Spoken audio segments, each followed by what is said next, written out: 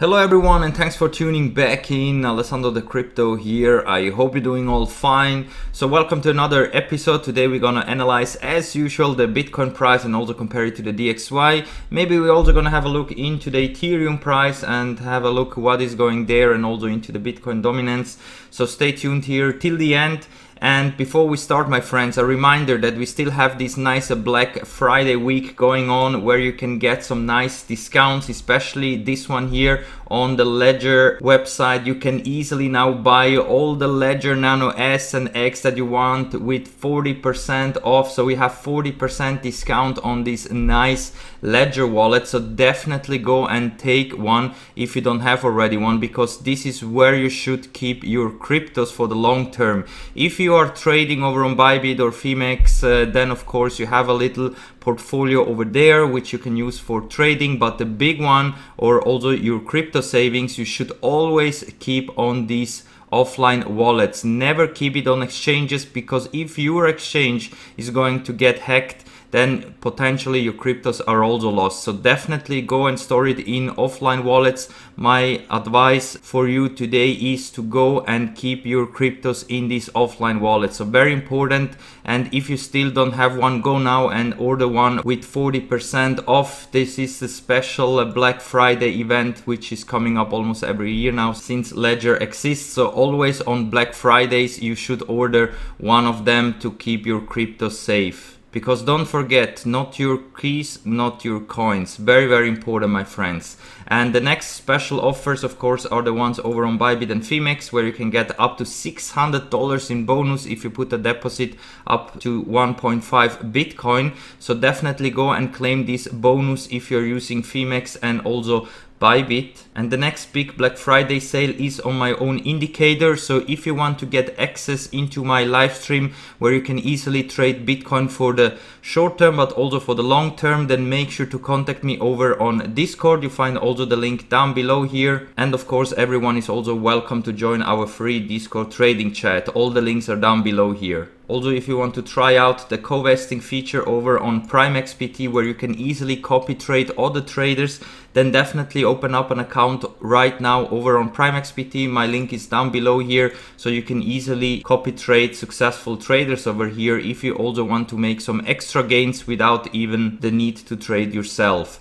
Alright my friends and now let's start here in the one hour time frame in the Bitcoin price. I just want to show you here the lower time frames because currently since we are trading in this upwards trending channel you can see that trading the one hour time frame so far was very successful. So every time we went into oversold condition you just had to open up a long position and if you wanted to take also a riskier trade you could also go short here towards the resistance once we were in overbought condition so currently as long as we're trading in this channel it is very easy to open up longs and shorts over on Bybit or Phemex if you're trading over there so if you want to do some nice little trades currently the one hour time frame is a very good time frame to trade but be very careful my friends don't go with too high leverage in because as soon as we're gonna have a breakout below the support or above the resistance, we're gonna see big fireworks here. And you definitely want to be on the right side if you're trading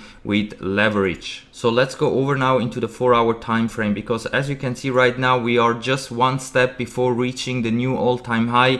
If we're gonna see a big continuation here to the upside towards our main resistance currently at $20,000 we will create a new all-time high and this is going to be a very very special moment and we will write history as soon as we're reaching now this resistance level up here. It is also possible that we are going to overshoot it to the upside and in that case I'm expecting even a 50% pump to the upside because the next fib line based on the moves that we had since 2017 till now would be right at $30,000. So what I'm expecting right now if we're gonna break 20k to the upside is that we could potentially go straight towards 30k before we're gonna see any kind of correction and at the other hand if we're gonna fall below our main support that we have currently at $17,600 and get rejected here at 20k is a potential dump even up to 50%, which would bring us towards $12,000 in my opinion. But since so far also the lower time frames are looking so bullish, I'm expecting here a potential breakout to the upside. Of course, we have several indicators which are pointing out that we are in extreme overbought condition and the indicators are very overextended, so a pullback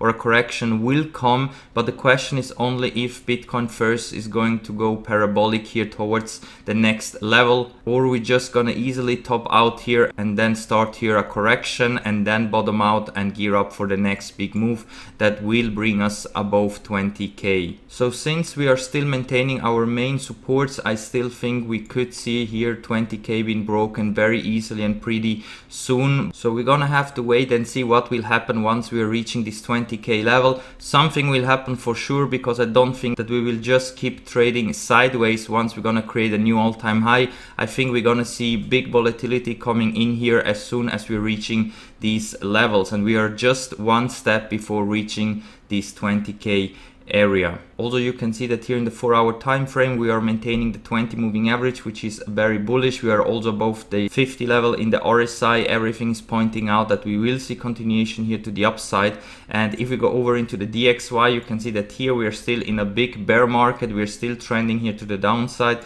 getting rejected from all the moving averages even here in the 4 hour but be careful my friends because here we could get a potential buy signal pretty soon and in that case we could maybe see a little pump again like we have seen over here in the DXY and that of course could lead into a possible correction in the Bitcoin price but I don't think that we will go way lower than $17,600 right at our main support. Only if we will start to trade below this price level and also confirm it as a new resistance, then I'm expecting that we could see a major correction incoming. But as long as we're staying in this channel, we should be trending to the upside, especially watching here the DXY, which is very, very weak at the moment.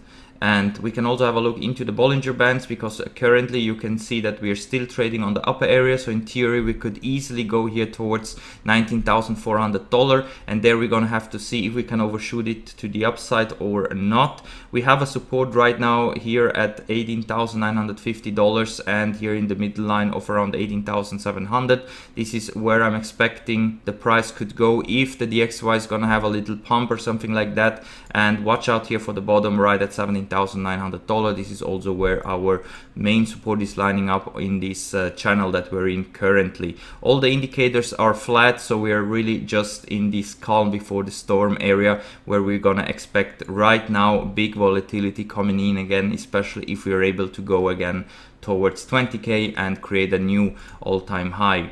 And now let's open up the daily time frame because here you can clearly see that we are still maintaining this 9 day moving average. Also today we came down here to retest the 9 day moving average and we had another bounce to the upside. So as long as we're not closing one single daily candle below the 9 day we should be shifted to the upside and you can expect big pumps incoming. Only if we will start to close daily candles below this 9 day moving average then keep an eye on the next supports which could come down here between $17,000 to $15,000 and if they will not hold then watch out for a complete retracement back down towards the 200 daily moving average which is lining up with our main support at around 12,000 dollar. Here in the daily you can also see that we are still very overbought in the RSI Alderman own indicator. We got several sell signals so Bitcoin can go on and on if the trend is to the upside and FOMO kicks in. So only because we are getting right now into overbought condition and everything is extreme doesn't mean that we have to correct. Bitcoin can go for a very long time to the upside before having a correction. But when we have circumstances like this, it is very hard to get a good entry point or to go long because if we're gonna see a major correction, you get wrecked very easily because when we go just straight up like this, we also have nasty huge correction incoming at any time. So be very careful if you go with high leveraged into some trades. Of course, if you just buy and hodl, then of course this doesn't matter for you because everything that you're buying right now till next year is going to be very cheap compared to what Bitcoin is going to do in the future. But if you're training these swings when we go up and down, then of course this is also important for you. And now we can have a look also into the Bollinger Bands in the daily because also here you can see that we are still trending here to the upside and also the top is right now at 19,000 $800 so it is very likely that we will visit again this price area here and retest maybe this 20k new all-time high area before maybe we're gonna have a correction. But if we are able to overshoot it to the upside then be prepared to see a big green candle which will take us into new levels. We also have all the indicators shifted to the upside here in the daily so the daily is really looking bullish. And if we compare it now to the DXY you can see that here we have exactly the opposite. We are coming into very oversold conditions although we are trading below all the moving averages and we're still getting rejected from the 9 day and also the 20 daily moving average which of course is very bearish for the DXY and even if here we will get a buy signal and we're gonna see a big pump in the DXY in the long term the DXY is still shifted to the downside and we should expect continuation to the downside in the next couple of months and years. So the conclusion of this comparison to the US dollar index and the Bitcoin price is that the DXY is garbage and Bitcoin is the future. So definitely make sure that you keep your hodl position and also keep it safe in a hardware wallet offline. Only put the money that you want to trade with in those exchanges if you want to trade these swings and also try to multiply your crypto portfolio. And now since we are in the daily time frame, we can also have a look into the Bitcoin dominance because here you can see that we got a clear bounce here at the 200 daily moving average. This is what I told you, my friends, that if we're gonna fall from the cliff here, watch out for the 200 daily. This is where we most likely gonna bottom out and have a bounce. Now we're gonna have to see if we're gonna see again continuation to the upside towards the 20 daily. So that means that Bitcoin is going to do the next big move and then the altcoins potentially could follow. So what I think that in the next couple of days will happen is that Bitcoin is gonna do the show and the altcoins will follow later. And you can see this also in the Ethereum price because if we have a look here, you can see that right now we are very overbought. We came in the RSI up to the 82% level and also in my own indicator, you can see that pretty soon we are getting here a sell signal. And in my opinion, we will have a retracement back down towards the 20 daily moving average here at around $500. And this is where most likely we're gonna set a bottom and then bounce again to the upside because also Ethereum has still a lot of way to go to the upside. So I'm pretty confident that Ethereum will not top out here at around $600. This thing can go easily towards 850 and higher in the next couple of days and weeks. So if you're waiting for a good long entry or to buy even more Ethereum, then wait for a retracement at least down here towards the 20 daily moving average at around $500. So even though Ethereum is still looking very bullish also for the long term like Bitcoin, we could see here also a correction incoming in the Ethereum price. So if you want to long or short Ethereum, you can do that over on Phemex or Bybit. And since we are currently in an uptrend also here in the Ethereum price, I would recommend you also here to look for good long opportunities. Don't try to catch the tops, to short the tops. Try to buy the dips and to long the dips as soon as they happen. Because during an uptrend you will do way better gains and also you will be more safe with your trades. Don't try to catch the tops in the next couple of weeks,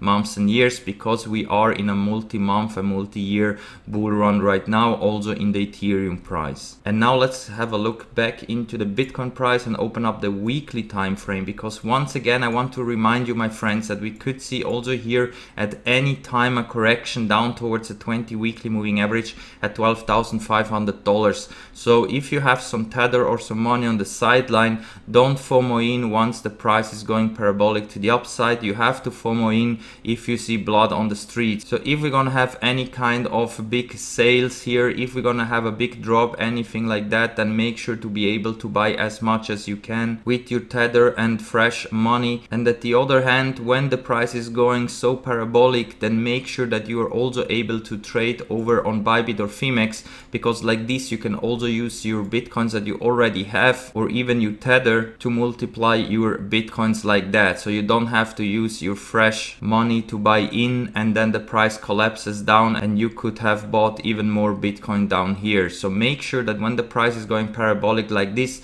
that you're just trading Bitcoin and when the price has a big drop, then you can easily just buy some Bitcoin Bitcoin with your fiat. That is at least how I'm doing it right now and also will do in the future because if Bitcoin is starting to go really parabolic, even with a small amount of money, you can do really nice gains trading with leverage. And the best exchanges that I recommend you are still Bybit and Phemex. You find all the links down below here if you want to open up an account. And if you're somehow still a no coiner, then make sure to open up an account on Swissborg, Binance, and Coinbase because there you can easily buy all the cryptos that you want. You can also trade over there. And with my links, you can get also even more money and even more cryptos. So definitely go and open up an account right now if you're somehow still a no coiner. And with that said, guys, I'm gonna wrap it up for now. If you like the content, make sure to hit that like button. Thank you very much for your support and the great community that we have over here on YouTube, but also over on Discord. So make sure that you're also joining my Discord channel and also my Twitch live streams. All the links are down below here. So thank you very much for watching my friends and we're gonna see us all in the next one. Bye.